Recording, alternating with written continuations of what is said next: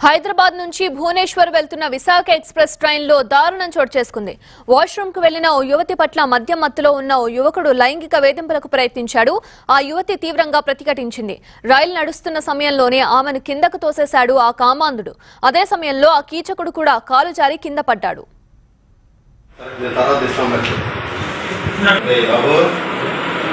Sir ఆ, ఎదురుగో sir ఇదో నల్గొండ జిల్లా మిర్యాలగూడ వాటర్ ట్యాంక్ తండా సమీపంలో ట్రాక్ పై పడి ఉన్న ఇద్దరిని గుర్తించిన స్థానికులు పోలీసులకు సమాచారం ఇచ్చారు. వెంటనే అక్కడికి చేరుకున్న పోలీసులు స్థానికుల సహాయంతో వారిని హుటాహుటిన ఆసుపత్రికి తరలించారు. స్టేషన్ సమీపిస్తున్నందున ట్రైన్ వేగం తగ్గడంతో ఇరువురు ప్రాణాలతో బయటపడ్డారు. కేసు నమోదు చేసుకున్న రైల్వే పోలీసులు విచారణ జరుపుతున్నారు. Visakha express Secunderabad to Srikakulam train travel చేస్తున్నప్పుడు నన్ను ఒక ఆయన అబ్జర్వ్ చేశాడు బాగా. ఒకసారి నా ముందుకు వచ్చి కూర్చున్నాడు.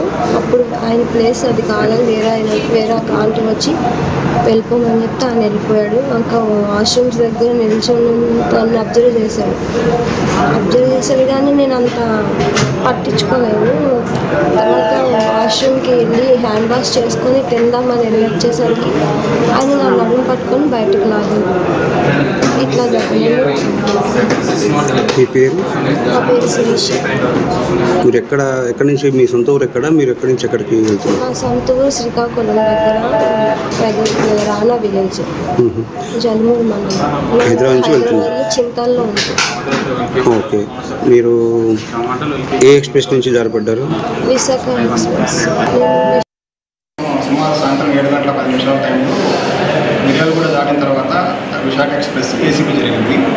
ఎందుకైందని చెప్పి అక్కడికి వెళ్తే అక్కడ ఒక ప్యాసింజర్ వచ్చేసి ఎస్ట్ కోచ్లో ఏసీపీ జరిగింది. అక్కడ ఒక ప్యాసింజర్ వచ్చేసి ఇట్లా ఇద్దరు ఒక మగ వ్యక్తి ఒక ఆడ వ్యక్తి కింద పడిపోయారని చెప్పేసి తర్వాత మగ వ్యక్తి బ్యాగ్ నాకు హ్యాండ్ ఓవర్ చేయడం జరిగింది మేము ఆ క్రూతో అంటే ఒక త్రీ కిలోమీటర్స్ దాంట్లో పడ్డ పడ్డారని చెప్పేసి అప్పుడు మాకు ఎస్టిమేషన్ ఇచ్చారు. తర్వాత కొంచెం మా కంట్రోల్ నుంచి మాకు ఆ అమ్మాయి ఫోన్ నెంబర్ వచ్చింది. మేము అమ్మాయి ఫోన్ నెంబరు అక్కడ ట్యాంక్ ట్యాంక్ తన దగ్గర ఉందని చెప్పి తెలుసుకొని అక్కడికి వెళ్ళి చూడగా ఆ అమ్మాయి గాయాలతో కాన్షియస్ స్టేజ్లో ఉంది కానీ బట్ మాట్లాడలేక మాట్లాడలేని పరిస్థితిలో ఉంది. వెంటనే నేను వెళ్ళి అక్కడికి అంబులెన్స్ కాల్ చేశాను.